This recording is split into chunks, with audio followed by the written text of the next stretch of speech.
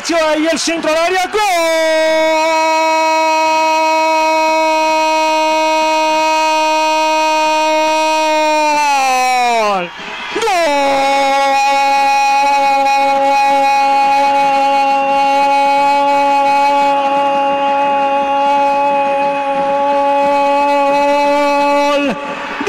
sí, de Aurora sí, de Aurora sí. Grita la hinchada, grita la hinchada. ¡Viva la Aurora!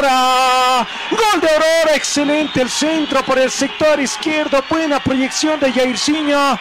Apareció Jairzinho, ese centro que parecía no tener ninguna complicación. Sin embargo, apareció Reynoso para remidirse. Reynoso para reconciliarse con las redes y marcar ese tanto de la apertura del marcador con un testazo bastante fuerte en los 13 minutos. Sí, señor, 13 minutos de este segundo tiempo, 58 en el complemento. Jair Reynoso, el autor del gol, dice que Aurora tiene uno, cero Bolívar.